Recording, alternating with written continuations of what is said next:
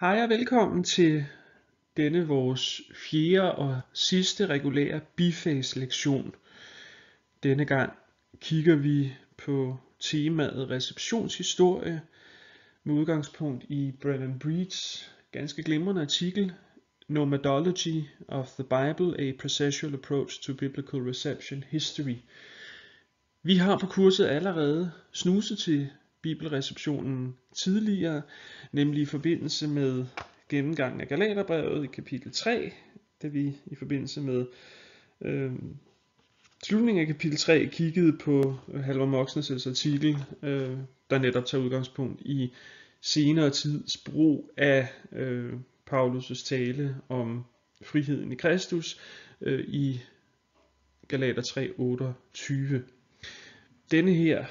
øh, lektion fokuserer sig på den anden af de to bifagstekster, der relaterer sig til receptionshistorie, nemlig Breeds artikel. Og på de følgende slides her vil jeg i korte overordnede vendinger øh, kommentere på, hvad receptionen er med udgangspunkt i Breeds opbygning, og jeg supplerer med nogle eksempler, øh, der også har en direkte, synes jeg, relevans for øh, de tekster, vi også har med at gøre. Breed øh, i, i artiklen er meget fin, som sagt, og meget lydig i sin øh, gennemgang af, øh, hvad receptionshistorie er, og de gevinster, der er ved en receptionshistorisk tilgang til teksterne. Men som I uden tvivl har bemærket i jeres læsning af artiklen, så tager han udgangspunkt i GT og i øh, gammeltestamentlige passager og tekster, og, øh, men, men den skal ligesom få lov til at stå med øh, som, som en del af pensum her, fordi det han siger rører sig inden for GT, rører sig selvfølgelig også inden for NC. Jeg har så suppleret med nogle øh, enkelte eksempler øh, på tematikkerne, sådan som det gør sig gældende i øh, Galaterbrevet. Øh, og som sådan er lektionen her tiltænkt som, som altid et supplement til jeres, øh, til jeres arbejde med, med teksterne her. Øh, og det er noget, som vi allerede har drøftet øh, i øh, vores livestream session øh, i mandags, og sådan kommer det også til at foregå fremover, at øh, livestream sessionerne er øh, det primære, det første møde med teksterne, det gør sig også gældende for øh, den del vi nu kommer til, nemlig første Timotius, og så er øh, videoforelæsningerne fremadrettet tiltænkt som et supplement, især til de af jer, der ikke har mulighed for at deltage øh, på de tidspunkter, hvor vi streamer.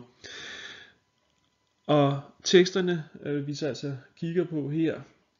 og tematikkerne vi kigger på, er så altså spørgsmålet om, hvad forholdet er imellem den bibelske tekst, for vores vedkommende selvfølgelig Galaterbrevet 1. Timotius, sammenlignet med hvordan teksten så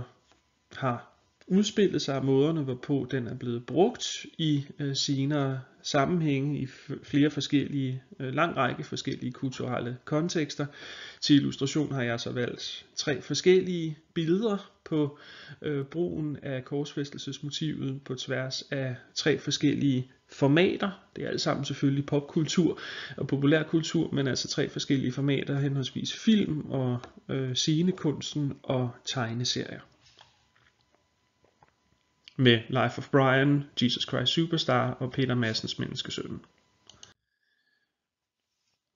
Når man overhovedet beskæftiger sig med tematikken receptionshistorie, så er det fordi vi jo kan konstatere, at der er nogle tekster, der er voldsomt populære. Tekster, der på mange forskellige måder bliver modtaget, altså reciperet, her er jo også udtrykket reception, øh, bliver modtaget og bliver brugt og bliver på den måde også aktualiseret og genaktualiseret inden for en lang række forskellige sfærer, øh, ofte af en kulturel karakter. At beskæftige sig med en given tekst, eller øh, i tilfælde 328 tekstpassages receptionshistorie, det er at undersøge den virkning, som den pågældende tekst eller passage har haft i senere tids øh, sammenhæng, øh, og inden for den receptionshistorie, man så arbejder med, jamen der er der en lang række felter, man kan øh, operere indenfor. Øh, nogle gør det meget i en, og nogle øh, har øh, øh forskere har tilbøjelighed til at arbejde inden for flere forskellige. Øh, jeg nævner i flæng her øh, på slidet nogle af dem, blandt andet litteratur, billedkunsten, scenekunsten, musik og film generelt, tegneserie, computerspil og øvrig pop, øh, popkultur. Øh, YouTube blandt andet. Øh, alt sammen altså måder, hvorpå vi kan se, at tekster bliver øh, brugt af forskellige grupper til forskellige tider. At der som sådan er en sammenhæng imellem teksten og dens brug, synes klart. Når man arbejder inden for receptionshistorien, fokuserer man altså på teksten i tiden, øh, netop ikke historisk forankret teksten i dens egen tid, men som man også taler om teksten i dets eftertid, øh, i dets øh, kulturelle efterliv. Øh, og derfor så er det oplagt, øh, synes mange, jeg selv også øh, øh, inkluderet, at arbejde med det her materiale, ikke bare for arbejdets egen skyld, men også fordi man altså mener, at det er gavnligt til at forstå både hvordan teksten er blevet brugt, og hvad der så er Breeds pointe, øhm, at de i virkeligheden også siger noget om teksten selv. At man, når man arbejder med måderne, hvorpå den bliver brugt i senere tid, så i virkeligheden også kan sige noget om, hvordan den øhm, tager sig ud til forskellige tider naturligvis, men også de mulige betydningsdybder, der ligger i de pågældende øh, tekster og tekstpassager. Men som Breed også er flink til at gøre opmærksom på, så er der et iboende problem med overhovedet enhver form for eksegetisk virksomhed. Øh, om man så går historisk kritisk til værks, eller narrativt til værks, eller receptionshistorisk til værks, så er der nogle problemer omkring forholdet mellem teksten og tiden. Mange eksegeter vil jo have en tilbøjelighed til, naturligt nok, at ville tilbage til teksten selv og sige, hvad teksten selv siger. Finde frem til, hvad forfatteren, det her i vores tilfælde som oftest Paulus, og det vi kommer til Pseudo-Paulus, har haft på hjerte med det vedkommende skriver, hvem vedkommende skriver til, hvad øh, omstændighederne er for, at det pågældende tekst bliver produceret. I vores tilfælde har vi jo overvejet langt og længe, hvad der ligger af mulige anlægner for øh, Paulus' øh, udfærdigelse af Galaterbrevet, hvad der er øh, har magtpåliggende i den forbindelse, hvilken retorik han benytter sig af osv. Alt sammen jo noget, som må vi jo fastholde fortsat er en fuldstændig legitim del af eksegesen. Problemet er dog bare, hvad Breed er flink til at slå ned på, at der er en iboende øh, medregnet øh, risiko for, at man øh, går fejl af teksten, hvis man tilgår den i den tro, at den faktisk foreligger. Et hvert form for arbejde med antikke tekster viser især selvfølgelig i, i vores, for vores vedkommende i, i de bibelske tekster, øh, viser at teksten ikke er en entydig monolitisk størrelse. Det at man kan gå tilbage og se på hvad teksten er, forudsætter at teksten faktisk foreligger. Og et hvert arbejde med tekstkritikken, i hvert fald for os i Nestle Alland 28, ja det er jo et arbejde, der på mange måder beror på kvalificeret gæt. Og det er selvfølgelig kvalificeret gæt, det er ikke bare tilfældige gæt, men vi må fastholde, at for vores vedkommende, at Nestle Airland 28 er en konstruktion. Også efter udgivernes mening en rekonstruktion af, hvordan teksten med al ret og rimelighed kan tænkes og have været oprindeligt, men vi har ikke de forhåndværende håndskrifter tilgængeligt. Håndskrifter for vel at mærke Paulus' egen hånd. Så derfor så bliver arbejdet også det historisk kritiske arbejde med teksterne, et spørgsmål om at være sig bevidst om, hvilket materiale man har for hånden. Og her er der altså nogle problemer, der melder sig. Breeds eksempler går jo så ud fra øh, GT, og der er det den samme tematik. Vi har ikke de oprindelige tekster i det, vi kalder den protomasoretiske udgave. De, noget, meget af det tidligste materiale, vi har, det er oversættelser til andre sprog. Det er især Septuaginta, men også den syriske Peshitta.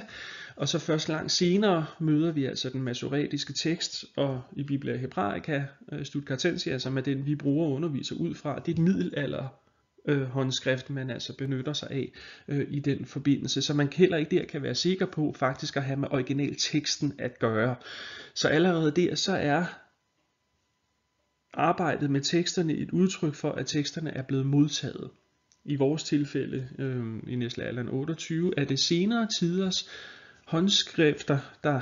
på hver deres måde afspejler en brug af teksterne, og også en øh, reflekteret, fortolkende brug af teksterne. Det har vi jo set flere eksempler på, også bare på det seneste del af Galaterbrevet, hvordan der er enkelte variationer øh, på tværs af teksterne, der afspejler,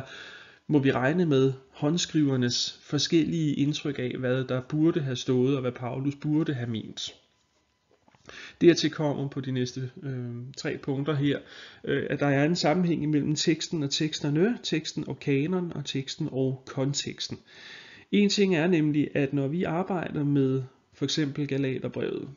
så gør vi det jo, fordi vi tillægger Paulus' forfatterskab en betydning. Det skulle også være mærkeligt andet. Det har man også gjort øh, i øh, den umiddelbare eftertid. Man har øh, samlet Paulus' breve til en samling af breve, kaldet Corpus Paulinum, som har øh, som er bestået af, øh, må vi antage, sådan nogenlunde den, øh, det omfang, som øh, de øh, kanoniske Paulusbreve har, men det i sig selv er også et udtryk for en modtagelse, en reception af Paulus som forfatter, som autoritet og brevene som Paulus breve, at de altså er blevet indgrupperet øh, i det lag, som de ellers nu her befinder sig i. Og det har så kulmineret med kanon og kanoniseringen er lige netop denne her samling af breve på mange andre breves bekostning. Det er jo ikke fordi, at vi nødvendigvis skal sige, at Paulus har skrevet så mange andre breve end dem, øh, der foreligger her, men vi kan ikke vide det med sikkerhed, og vi kan heller ikke vide øh, konkret, øh, hvornår de pågældende breve er skrevet. Det bliver en øh, reflekteret overvejelse og øh, et best guess fra øh, fra forskernes side øh, om, hvornår øh, brevene her kan tænkes at være affattet. Hertil kommer også spørgsmålet, der også har rejst sig i nyere tid, om forholdet mellem dem vi kalder de ægte Paulusbreve på den ene side, og så de pseudopaulinske breve på den anden, hvilket netop er det, vi så kommer til næste gang, når vi kommer til 1. Timotius, og pastoralbrevene, som mange, jeg selv inklusiv ville mene, er pseudopaulinsk, men altså det er også et udtryk for, at Paulus som figur og som forfatter er blevet modtaget og blevet reciperet i en senere tid, så når vi overhovedet har med ham at gøre som forfatter, så er det allerede på baggrund af, at man på det her tidspunkt i vores øh, historie, jo altså øh, har tillagt Paulus en særlig betydning, og hvor øh, Breeds pointe i den forbindelse er, at man altså skal passe på med ikke at lade øh, samlingerne af teksterne, om det så er Corpus Paulinum eller den kanoniske Paulus, nødvendigvis farve vores indtryk af de pågældende tekster i en sådan grad, at vi mener at den grund så at kunne have med originalteksten at gøre. Og det sidste tema her, der så bliver berørt, som, som Brie bruger et helt øh, underafsnit i kapitlet på, er spørgsmålet om forholdet mellem teksten og konteksten. Og her går han øh, i clinch med en tradition, der til forveksling minder om receptionshistorie, nemlig den mere generelle, sådan kulturel historiske forskning, hvor øh, han øh, nævner ham her Timothy Beale, der siger, at alt er i sagens natur øh, virkningsgeschichte, øh, øh, og som sådan er alt et udtryk for virkningshistorien, Når vi alligevel ikke kan komme tilbage til teksterne selv, så kan vi lige så godt undersøge, hvordan teksterne er blevet brugt inden for forskellige kulturelle sammenhænge. Og på den måde er der semantisk set i hvert fald noget, der binder en kulturhistoriske perspektiv sammen med den receptionshistoriske perspektiv, men med omvendt foretegn når man går kulturhistorisk til værks og undersøger, hvordan Galaterbrevet er blevet brugt i forskellige sammenhænge, så er det med kulturen som udgangspunkt. Så undersøger man, hvordan en given tekst er blevet brugt inden for forskellige sammenhænge. Og så siger man, så er der måske en middelalderlig sammenhæng, der kan også være en øh, jødisk, tidlig jødisk sammenhæng, eller en øh, senere kristen sammenhæng. Man kan også undersøge øh, brugen af øh, bibelske motiver i øh, i andre religiøse tekster øh, og i andre kulturer, man kan lave, hvilket vi alle sammen jo også gør. Øh, mange, mange af os forskere jo undersøger, hvordan i billedkunsten, at øh, der er klare bibelske motiver, når Rembrandt Øh, afbilder øh, forskellige øh, bibelske scener, hvordan gør han det, hvilken vægtlægning foretager han, sammenlignet med hvad andre billedkunstnere vil gøre osv. Alt sammen altså et udtryk for en kulturel tilgang til teksterne, og hvor man inden for en, en kulturel historisk øh, tilgang lader kulturen være nøglen og prismet gennem hvilken man tilgår teksterne. Og det kunne man godt gøre, siger øh, Breed, men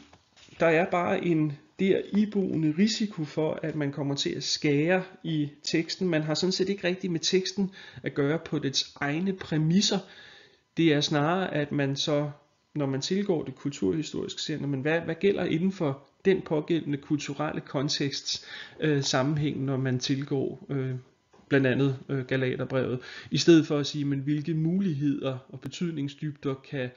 Galaterbrevet eller en pågældende passage i Galaterbrevet sige at rumme på tværs af forskellige kulturer. At, som det også klart fremgår af Breed, så kunne man med fordel, øh, synes Reed, og jeg er da også øh, selv enig med ham, øh, frem for at fokusere på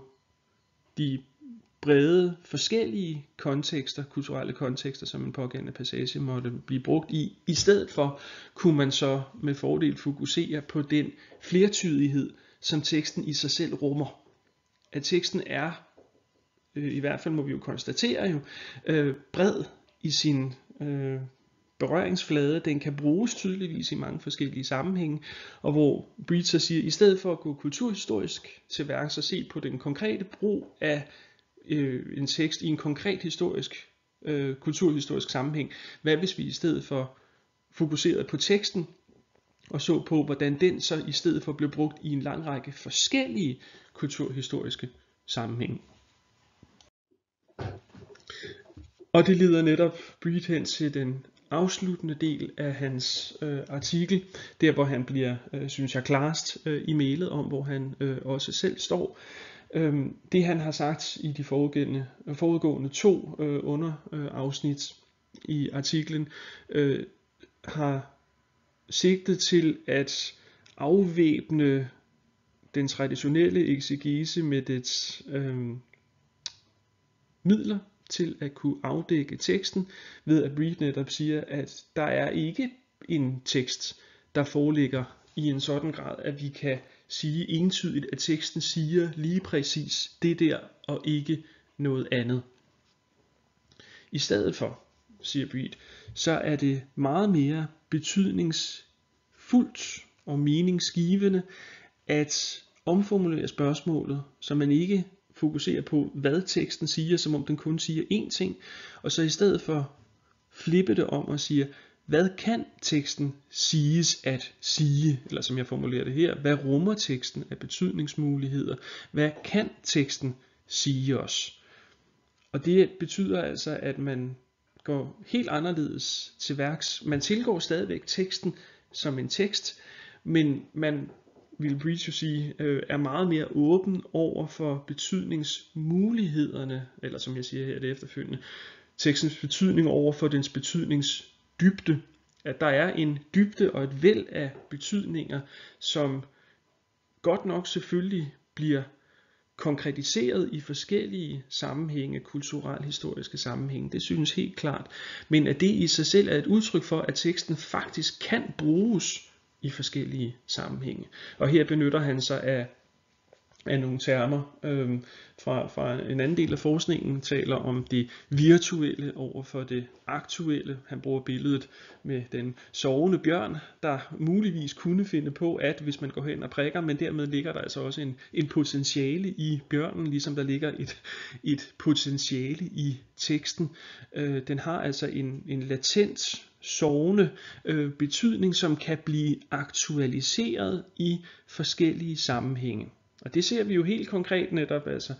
som jeg indledte med, hvordan at skildringen af korsfæstelsen i Life of Brian er stik modsat skildringen af korsfæstelsen i Jesus Christ Superstar, og modsat skildringen af korsfæstelsen i Peter Massens Menneskesønden, for slet ikke at tale om brugen af bibelske figurer i andre sammenhænge, i satire øh, og øh, computerspil. Øh, alt sammen et udtryk for, at, at teksten altså har en mulighed for at kunne bruges i forskellige sammenhænge, og hvor de forskellige, den forskellige brug af teksten i sig selv vidner om, at teksten har en betydningsdybde for en lang række forskellige brugere af teksten. Og her bliver det så interessant, øh, siger Beat at øh, fastholde, at teksten ikke kun siger én ting, men at dens dybdeniveau og dens øh, skal vi sige betydningsmuligheder øh, øh, ligger der og foreligger i teksten, men noget som man ikke kan tilgå i teksten selv i troen på, at der var en originaltekst, man bare kunne læse det, det ud af. Men det er det, som receptionshistorien er et vidnesbyrd om, nemlig at teksten har flere forskellige betydningslag og en betydningsdybde, der så kan blive konkretiseret og sat ind i en øh, given kulturel-historisk kontekst, og på den måde, at forskellige facetter af en given tekst kan blive aktualiseret i forskellige øh, lejligheder. Nøjagtigt ligesom vi også så det i Moxnes' øh, udplotning af, hvordan at, at øh, Galater 3.28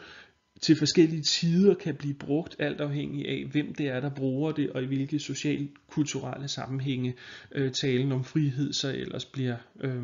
brugt. Og det leder mig til øh, Breeds sidste pointe, som så også er øh, titlen på hans artikel Nomadology of the Bible, hvor det igen også øh, et udtryk, han, han henter fra en del af forskningen, hvor han øh, så altså øh, i billedet omtaler her, at øh, når man går receptionshistorisk til værks og ønsker at gøre det, så skal man være så bevidst om, hvordan man tilgår det. Øh, en måde at gøre det på er at fastholde øh, det, man så kan sige er det, det, det, det fastboende element. Det vil sige det, at teksten har de her mulige betydningslag, og det altid bliver brugt øh, i den samme øh, betydning i de her konkrete kulturelle sammenhænge. Det kan man mene som tilgang, og som sådan kan man tale om, hvordan for eksempel Galaterbrevet bliver brugt i billedkunsten. Og så forsker man kun i, hvordan øh, Galaterbrevet bliver brugt i billedkunsten. Det kan man godt. Det er ikke fordi, at, at det ikke er betydningsgivende naturligvis at gøre det, for ligesom at blive klogere på, hvordan den samlede ramme er naturligvis. Men man kan også gøre noget andet nemlig at fastholde den nomadiske tilgang, øh, hvor nomaderne de jo netop går rundt omkring og ser, hvor øh, kvædet normalt plejer at øh, græsse, og at der som sådan er en mulighed for bevægelighed i tilgangen, en åbenhed i mulighederne, øh, og omsat øh, til, til vores øh, tilfælde her, så er det at sige, men hvad så hvis vi i stedet for udelukkende fokuserer fokusere på det ene format, som en tekst bliver brugt i, for eksempel i billedkunsten, eller øh, Jesus på film. Hvad hvis vi i stedet for bredte det ud, og så så på, hvordan et konkret nedslag i, øh, i tilfælde Jesus på film, lad os sige Life of Brian, hvordan det passer sammen med brugen af teksten inden for et andet format og inden for en anden genre, og også gerne inden for en anden tid. Og så kunne man netop, hvilket mange øh, øh, forskere også gør, øh, undersøge, er der nogle røde tråde imellem brugen af et bibelsk motiv i øh, oldkirken, og i middelalderen og i moderne tid. Og det øh, giver jo altså et væld af, af muligheder, hvor man ikke nødvendigvis kan sige, at de her pågældende brugere kender til hinanden, og at jo længere op i tid vi kommer, at øh, forskere nødvendigvis øh, kan kloges på, hvordan øh, virkningshistorien er de her enkelte led imellem. Det kan vi ikke sige med sikkerhed, men vi kan altså fastholde, at der er en brug af teksterne, som i virkeligheden går på tværs af de her typiske genre og formatmæssige skæld. som så i sig selv vidner om, at jamen, så må det betyde, at teksterne altså har en betydningsdybde, og de har en bredde i betydningerne, som man i forskellige kulturelle sammenhænge kan aktualisere. Om det så er i tidlige kristne hymner, i middelalderlig billedkunst og i moderne computerspil, så er det altså et udtryk for, at teksterne har en betydningsdybde, og de har nogle nuancer, som man ikke nødvendigvis kan tilgå overhovedet åbne op for, hvis man tilgår teksterne i troen på, at de kun betyder én ting. Og sådan her til sidst, øh, som sagt, jeg synes, at Breeds artikel er, er rigtig, rigtig øh, fin, øh, og den er, er flink til også at i tale sætte nogle af de grundlæggende øh, problemer, som vi jo altid tumler med øh, i exegesen. Øh, når jeg så har placeret den på det her tidspunkt i kurset, øh, så er det selvfølgelig fordi det skulle placeres et eller andet sted, men også fordi det passer fint netop lige i overgangen fra Galaterbrevet og så til første Timotius, øh, som vi kigger på øh, næste gang, både livestream og jeg skal nok også lave videoforelæsning over første Timotius selvfølgelig, øh, så er jeg af den klare opfattelse, at første Timotius ikke er ægte paulinsk. Det vil sige, det er ikke skrevet af, af Paulus selv, men det er selvfølgelig paulinsk, øh, skrevet i Paulus' ånd, og er øh, som sådan et udtryk for en senere tids brug af Paulus. Og den her bro, som vi så skal kigge på i 1. Timotius, kan sige at siges at afdække nogle af de mulige betydningslag, der kan ligge i øh, Paulus' forfatterskab, hvorfor spørgsmålet om i hvor høj grad det så er paulinsk eller ej, netop kan øh, med rette øh, øh noget man med rette netop kan øh, overveje. Hvad skal der til for noget er skrevet af Paulus, hvad vil det sige, at noget er paulinsk? Og hvem er vi, at vi bestemmer det, øh, alt afhængig af hvem vi som læser er over for, hvem man som forfatter er. Ja, det var alt, hvad jeg havde at sige om Breeds artikel. Det er sådan en artikel, man bliver klog af. Det er nok også en artikel, man skal læse mere end en gang, det ved jeg godt. Men altså, jeg håber, at øh, mine slides her og forelæsningerne sådan har kunne hjælpe jer lidt på vej. Og som altid, hvis I har spørgsmål til teksten, så skal I egentlig også bare henvende jer. Husk, at øh, der i den samlede afløsningsopgave er et spørgsmål der vedrører reception øh, og receptionshistorie, og derfor øh, så jeg da meget gerne, at I øh, inkluderet den i øh, forbindelse med delopgaven, og så er det en tematik, der under alle omstændigheder selvfølgelig er spændende at arbejde med, og noget vi selvfølgelig også skal komme til at øh, kigge rigeligt på, når vi nu kommer til 1. Timotius, som godt nok ikke er et ægte Paulusbrev, men man kan da undre sig øh, og overveje netop, hvad er rammerne for at vurdere noget som paulinsk eller ej. Jeg skal nok gøre den her videoforelæsning tilgængelig på øh, YouTube, og øh, som sagt, husk at jeg fremover øh, streamer på de faste øh, undervisningstidspunkter, og at det er livestreamsene, der fremover kommer til at tjene som den, øh, det første møde med teksterne. Jeg vil gerne øh, øh, gennemgå dem øh, mere, og jeg håber på, at så mange som muligt øh, af jer har mulighed for at deltage. Øh, de her videoforelæsninger, de skal selvfølgelig nok komme løbende, øh, også hen over den sidste stykke tid, øh, men er først og fremmest tiltænkt både sådan til øh, almen sådan øh, påmindelse om, hvad vi har talt om, samtidig med, at det også er, er specifikt myndet på de af jer, der ikke kan deltage øh, 8-9 om mandagen og 8-10 om torsdagen. Husk også, øh, at jeg som altid øh, står klar øh, til at svare på spørgsmål, hvis I har nogle at sende min vej. Øh, der er også tid til at stille spørgsmål, både til det vi har kigget på indtil videre, og også til det vi kommer til i forbindelse med livestreamsene. Tak fordi I lyttede med, og som altid God arbejdsløst, og pas godt på jer selv.